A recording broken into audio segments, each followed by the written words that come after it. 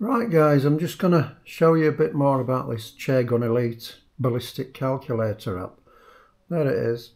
So let's open it up. I'll go to the equipment screen to start with and I'll go to change rifle. I've six different rifles uh, saved into it. So we're going to go to the Reximex and just select it. Uh, I'll go to this menu here. This is the scope reticle and it asks you if it's in first focal plane or not. Uh, there's my zero distance and you have to put the scope height in. If it's not a first focal plane you have to put the minimum maximum uh, zoom and where, you, where you've got it set. So we'll come out of that menu. Uh, you can choose different scope reticles but if you want to use any others, you have to uh, pay for the subscription. So I'll just show you what we're using, which is the, uh, not that one, mil dot. I'm just going to use a mil dot. So I'll come back out of there, back out. So that's that menu there. Barrel twist doesn't really make much difference. I don't know what that is. Uh, and rotation left or right. Not bothering with that. Right, ammunition. The best ammunition for this gun is the Bisley Long Range Gold. So we've got the length of the pellet. That don't look right, does it?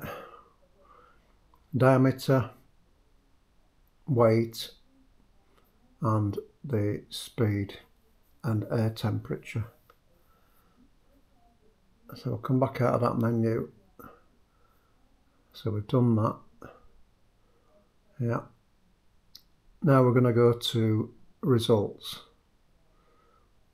So I've set the distance at 17.5 yards.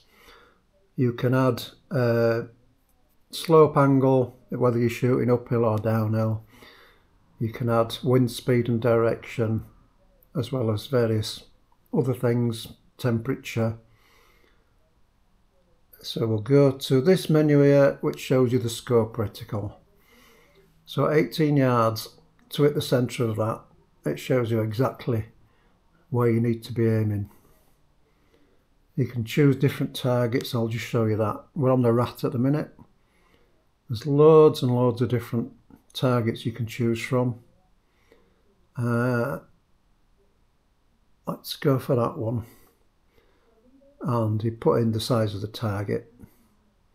So we'll come back out and then you can see that. And obviously you can change the um, distance at which you're shooting it will it will show you where you need to be aiming to at the center of the target. If you go into this menu here in results we're still in results. You can alter this table to whatever parameters you want. I've got it set minimum distance 5 yards, maximum distance 60 yards. And it's showing you the vertical correction. This is centimetres. So at 45, year, 45 yards zero, if you're shooting 5 yards, you would need to shoot 33 millimetres above the target. 10 yards, 15 millimetres above 15 yards 1 millimetre above and then 20 yards you're having to shoot 8 millimetres under 14 millimetres under 17 millimetres under 16 millimetres under 11 millimetres under and 0 at 45 yards. On to 50 yards 11 millimetres over 30 millimetres over 48 millimetres over. So nearly 2 inch old over at 60 yards if your zero's set at 45 yards. I'm not sure it's going to show you in the trajectory, I don't know why.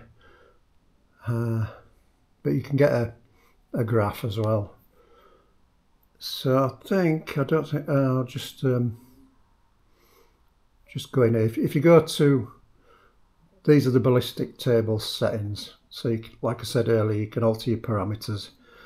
You can also have it tell you uh, MRAD, MOA, SMOA. I've got it set to centimetres at the moment. Or clicks and turret. turret. Uh, there is some other info somewhere, if I can remember where it is. Uh, is it additional data? Yeah. Velocity, retained velocity, retained energy, muzzle energy, sound speed, time of flight, all that kind of thing. So there is a lot, a lot to it. So yeah, and it's it's free unless you want to choose different reticles. And uh, let's just um, see what it wants to do for that. Let me look. So let's try changing the reticle and see what it says. Right, one week for free, then £1.49 a month or 10 quid for a year if you want to change stuff like that.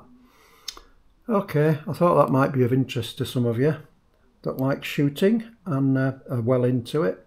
So thanks for watching and uh, we'll see you next time.